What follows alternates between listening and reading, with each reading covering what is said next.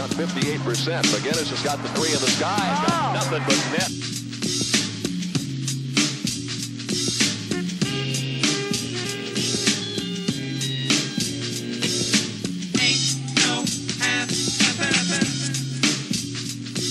Point difference. That's the biggest lead they had in the first half. McGinnis around Wil Jones shoves him away, fires and scores.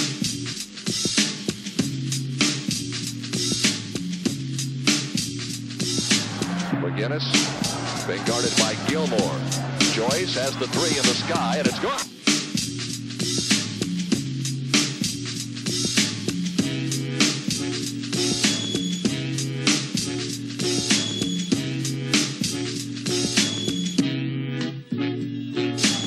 And nobody's been able to get the job done. They've been to the finals twice and lost both times. Joyce, great play inside on a super pass from McGinnis.